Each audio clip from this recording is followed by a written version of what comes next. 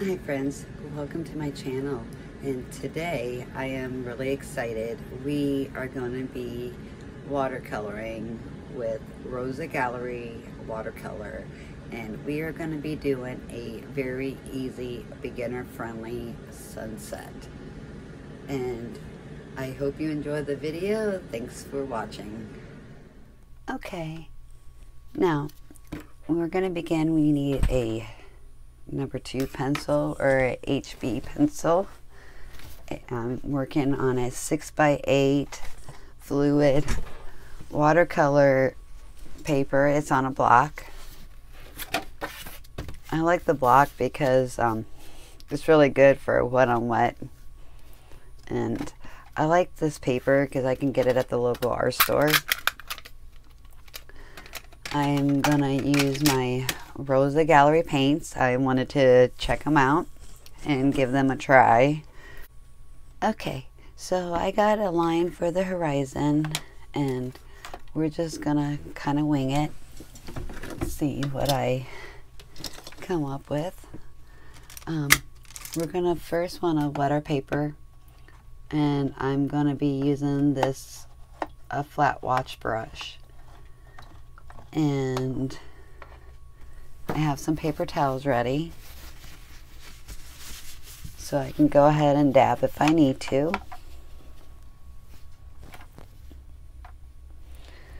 Making sure my brush is clean. I didn't clean it very good last time I guess.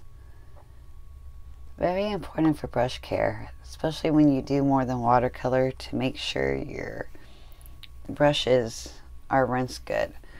Anyway, I am taking this Princeton flat wash brush. It's a Princeton Neptune and it's a 3 4 quarter, you know, 3 4 inch. So I'm going to go ahead and wet my paper to the line. See, it still has some of that yellow in it. You don't typically want to do that. So I'm going to go ahead and wipe that up. And continuing on, I guess, cleaning my brush.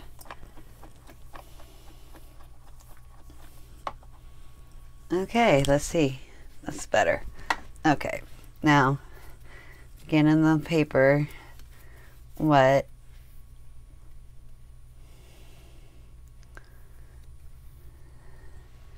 We are going to um, use a wet on wet method for the sky. And what that is, is when your paper is wet and then you're going to put on wet paint.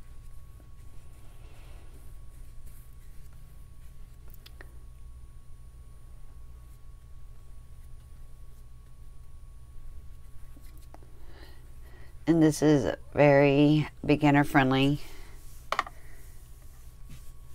so you can use whatever blue you have. I am going to use some of this ultramarine and cobalt mix. I don't know how but I had a little piece of paper in there. So more cobalt than ultramarine. Take some water. Now remember, since we're using a wet on wet, this is actually going to dry a little lighter, but I want to get um, our paints ready. And then I am going to take a little bit of this Aureolin and wipe that up because I don't want it to um, go green on me.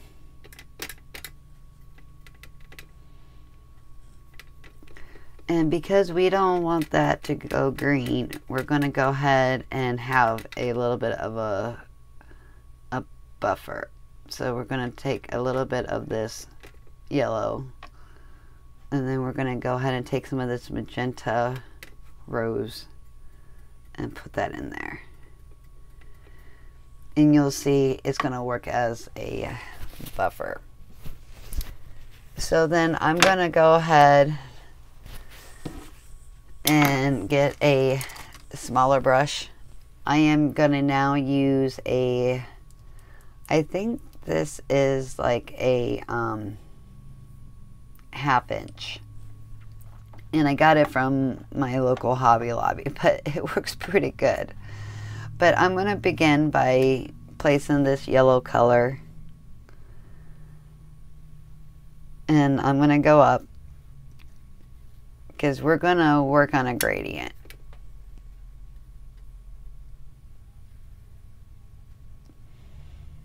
And during a sunset,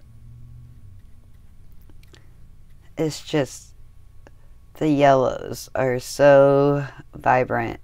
And then we're going to just kind of work it up.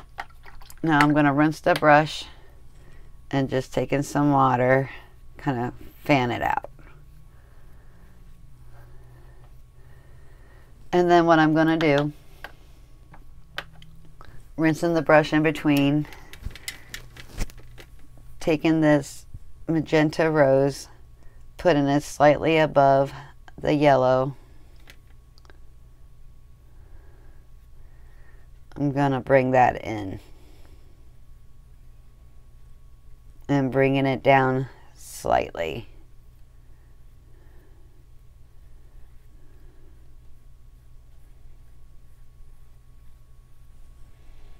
And going ahead and mixing up a little bit more.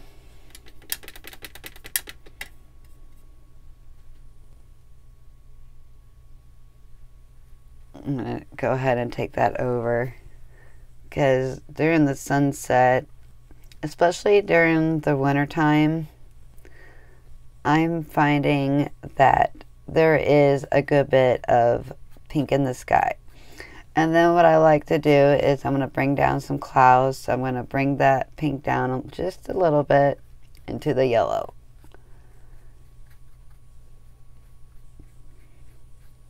And it's just going to give it a real nice, almost like a cloud appearance.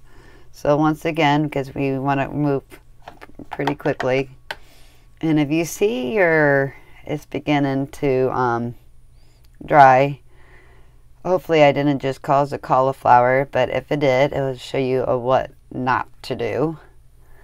But trying to work quickly putting some more water on because I do not want it to dry up because that's part of the wet on um, wet look. It's going to give it a very nice soft blend and that's what we want. So now starting a little bit above that red or that pink color and then we're going to kind of do the same and move that down. But this time working a little bit bigger.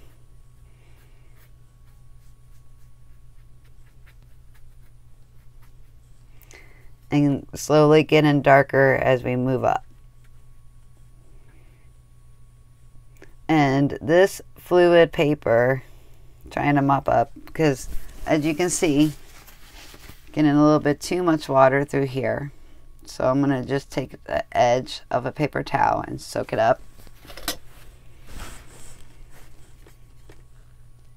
Now working at the top because I wanted the darkest to be there and then working down quickly because the paper is really starting to dry. And if it dries too much, you can always let it dry and then re-wet it and use a very soft paintbrush to lightly go over it.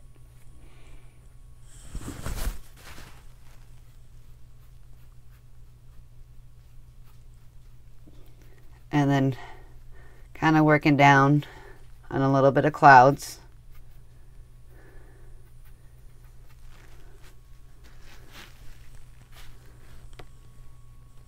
And then I think what we're going to do is because I even want to go a little bit darker because it's getting to be, you know, it's getting to be night. Oh, that's a little bit too much black. Using that, but it has like a bluish tint. So then I'm going to go ahead and take a little bit of ultramarine. And the black, we're going to go ahead and make it really dark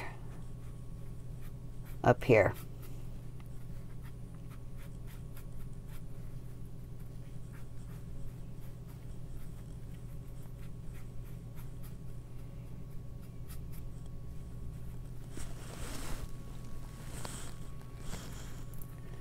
And then, so now we're going to go ahead and let that dry.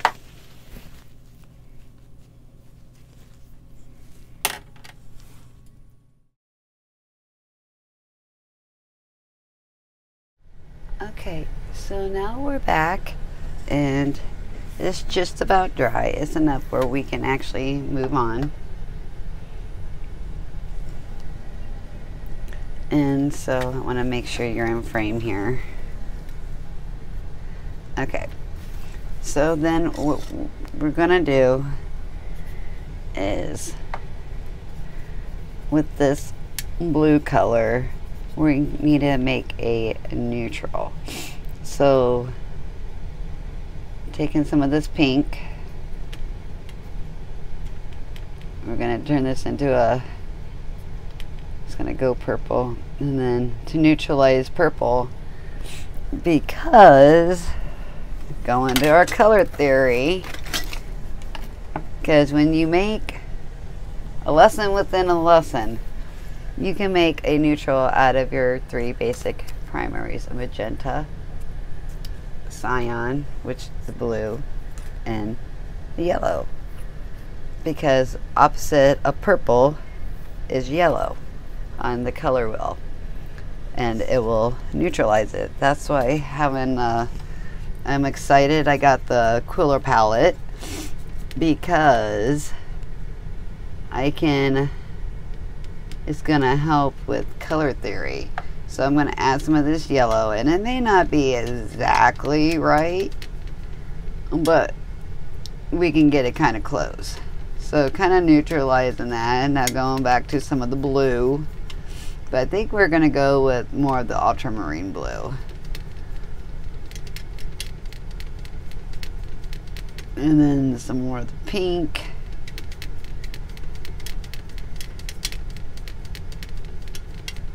And look at what we got here. A little bit more blue. A little bit more pink. Whoa too much pink. So we can neutralize that with some yellow. We'll go ahead and take some of this cad yellow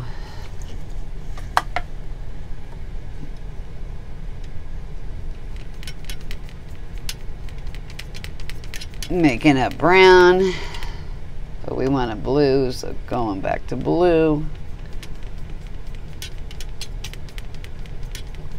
And we'll eventually get it. Going back to there and then once again we need the yellow.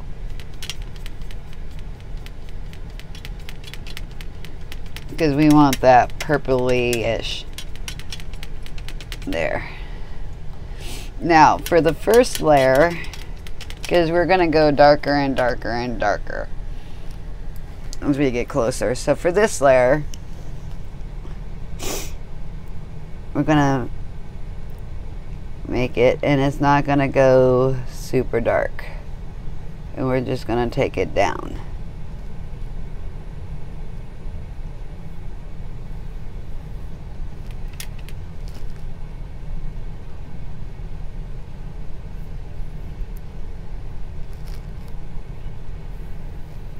You're gonna see when we take it down.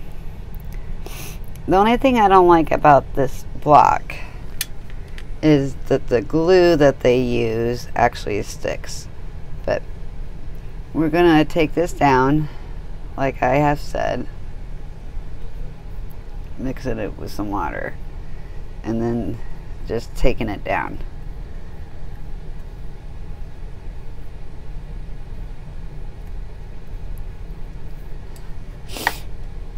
I want to take it all the way down to the to the bottom.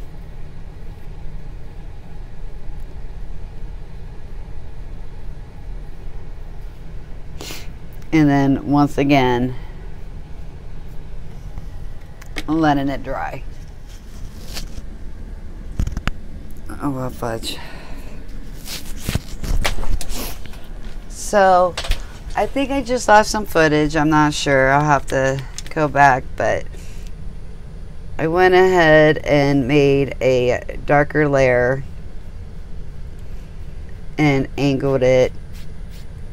And then I took some water and feathered it out.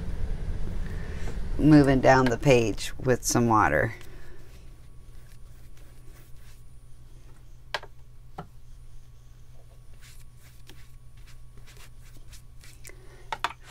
Just trying to evenly distribute the water. But the layer, once again, was our same three colors, but as in a darker mix. So now we're just going to go ahead and quit messing with it. I need to take my own advice and leave it alone. And then we're going to wait for this layer to dry. And then we're going to do one more mountain layer. So we will be back. Okay, so now that that's dried, we're going to put one more layer of mountain. And what I'm going to do is take some yellow. Actually, we'll take some of this azo yellow. And then we're going to take some of this ultramarine blue.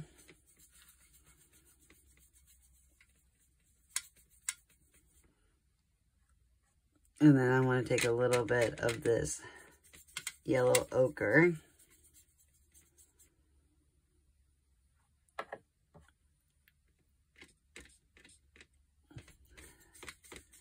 More blue. We just want to make sure we have enough. Um, more azo yellow. You just definitely want to make sure of that. And then a little bit more blue. There. And then, and this, taking some more of that, I'm um, not azo yellow, but Ariel aureolin. I don't know why I'm, I must have the other one, the brain. Okay, and then we're gonna Mix up that gray or green. And then we got this like muddy colored back here. And that's fine. And then a little muddy colored back there. So. Now what we're to do is take this green, kind of mix it with some of this muddy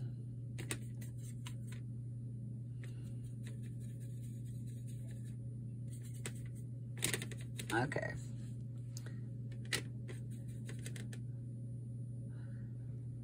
So now we're going to go ahead and I want to take this bluish green, here a bit more blue, because it's still in the distance. So we're going to do this mountain now.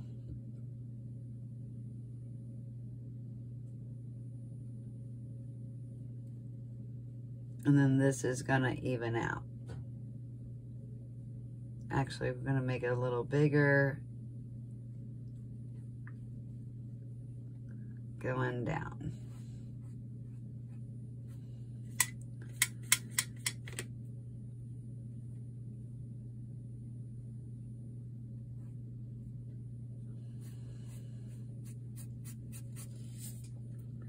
Because this one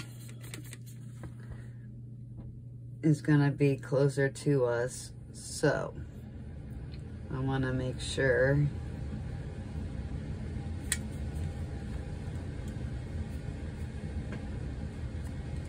keeping my head out of the picture.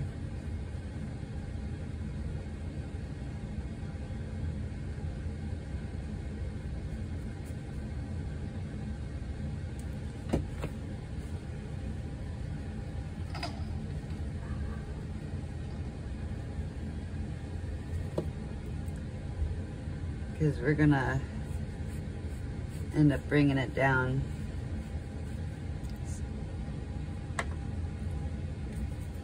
So I'm gonna make up a little bit more. So taking that aureolin,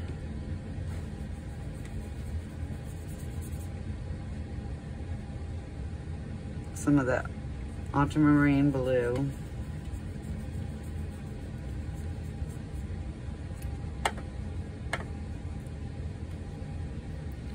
and then yellow ochre because we want to kind of dirty it up. And then we're going to go ahead and add a little bit of the royal brown also.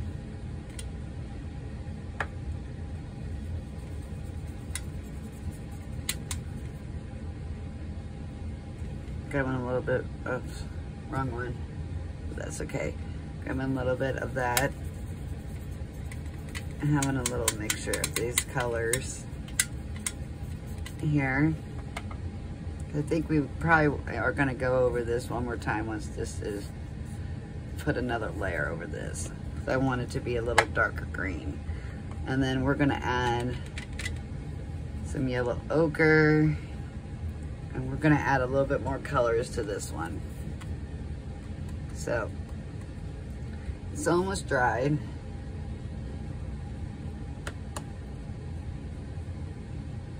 And then when we do it, we're gonna take it all the way down. So, we can probably do it. I just wanna make sure it, the key is if you're gonna add more color, get ready to, we want to make a pretty thick consistency.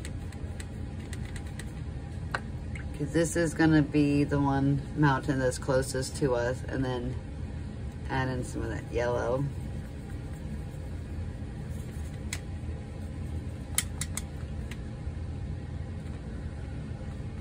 And then, okay. So we got some nice mixes here. So now we're just gonna go ahead because it's not dry all the way, but it's close enough. I want the darkest green to be here. But I wanna throw some like that yellow in. Throw some of that reddish brown in. Sorry you guys, there's such a glare on this right now. I need to be able to see what I'm doing. So I'm just gonna tilt the paper. And then work in that brown. Oh yeah. That's exactly what we wanted. I want to take some more of that yellow ochre and put in that in. I want the lighter side of the mountain to be on this side.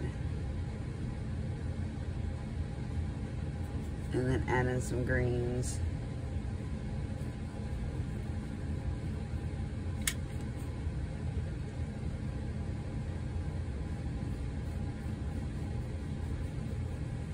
There.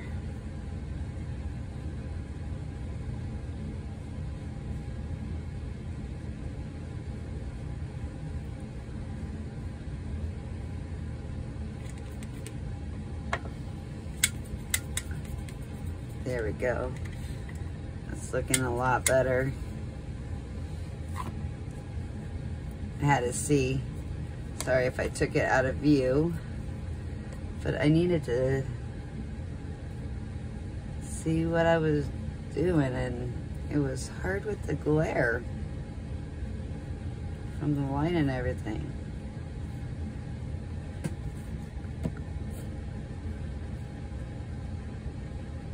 But on this mountain here, we really wanted to. And then what we're also gonna do is kind of up in the distance.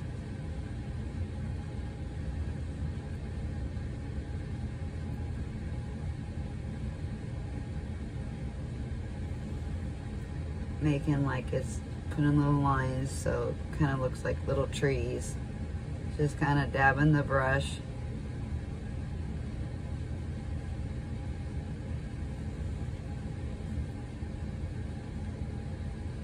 And I think I want to add a little bit more of this yellow ochre.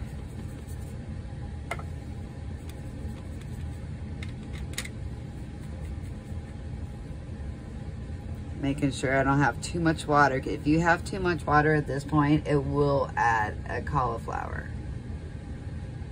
But I wanted to add a little bit of the, more of that yellow ochre. Okay, now bringing the brush down, we're gonna start working on the foreground.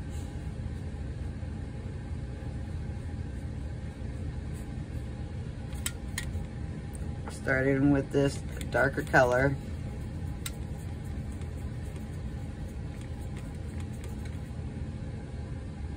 And we're gonna have to make up some paint here in a minute, but just kind of blended this down. Taking some of that yellow ochre now, mix. And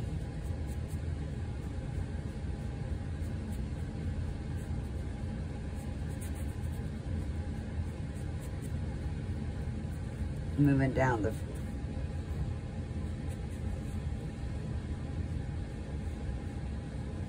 moving on I'm gonna move on down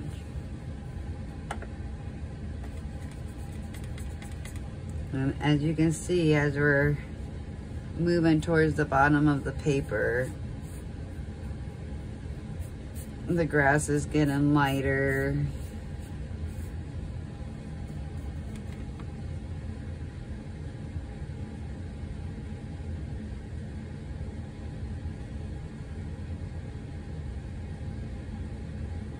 and all that.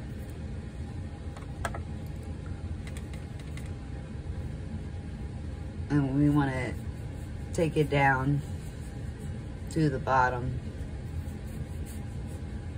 And then we'll add some details here in the front. Making a little bit more mixture.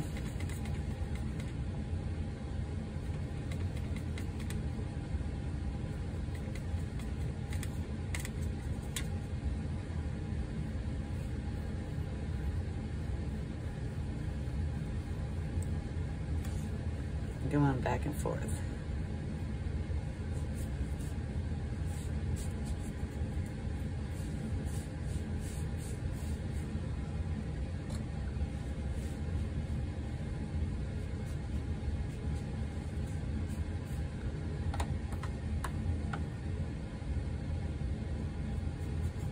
Taking a little bit that yellow ochre towards the front.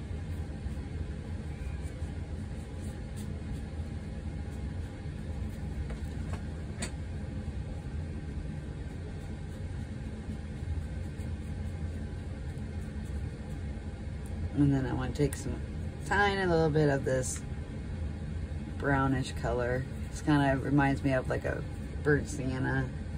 And I want to put that some of that mixture in here too.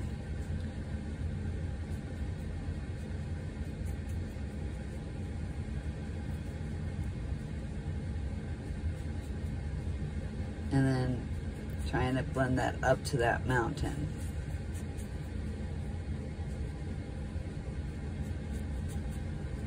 And that's gonna give warm up the front and it's gonna appear closer. So now what we're gonna do is I'm gonna try to do a little scraping.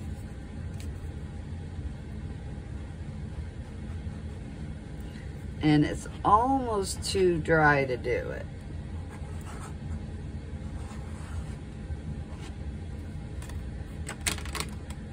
And then blend that out.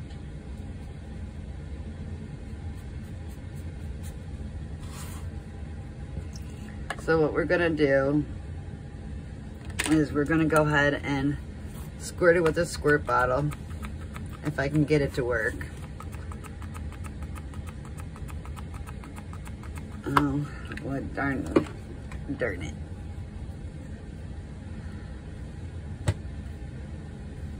And so I can't, so instead I guess we'll improvise.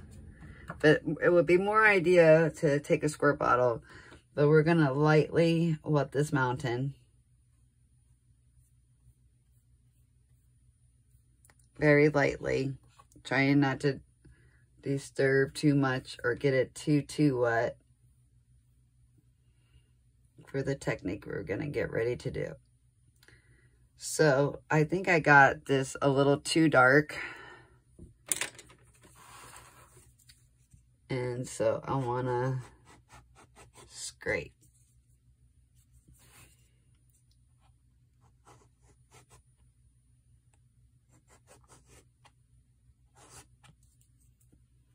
And then I'm going to take the paper.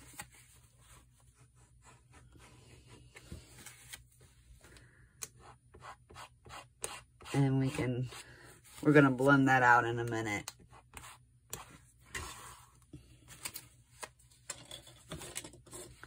And then, so what we're going to do is, therefore, we're going to blend it out. But that looks a little bit better.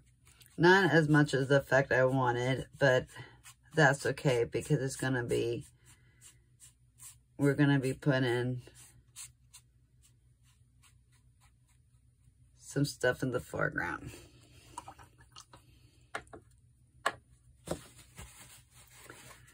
And then the other thing that we can do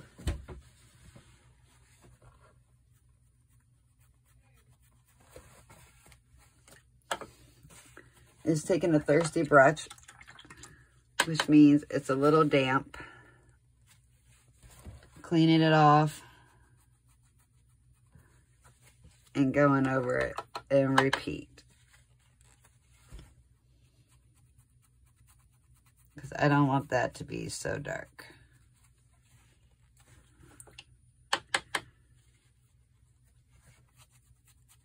Same thing with here. I want to lighten that.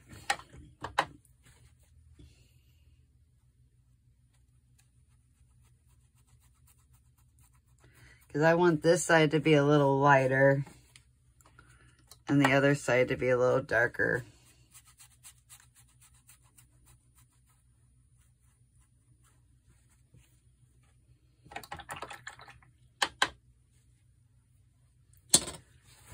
Okay, and I think I'm going to get a little different brush. Moving on now to this round. Because I still... There. Taking a paper towel and then doing some lifting.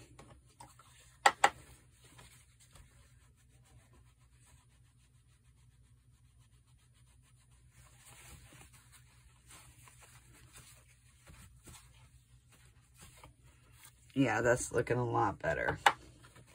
It was just too dark for my liking. And it's darker on that side. Very good. So now it needs to dry some more. And then on the bottom, we'll get another coat ready because I want to put a light coat of the, like a greenish color just to try to even it up some.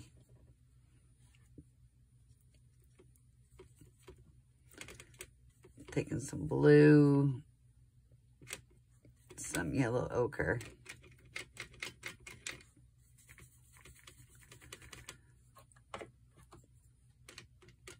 little aureolin.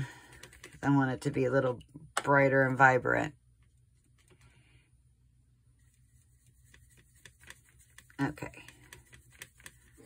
That's about what I wanted. So now I got that color mixed up. I'm going to just lightly glaze. And I do mean ever so lightly. Trying to skip some spots.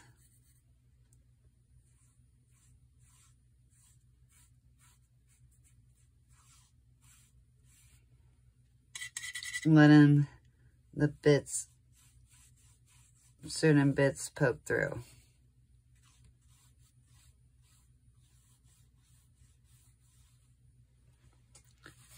Very good.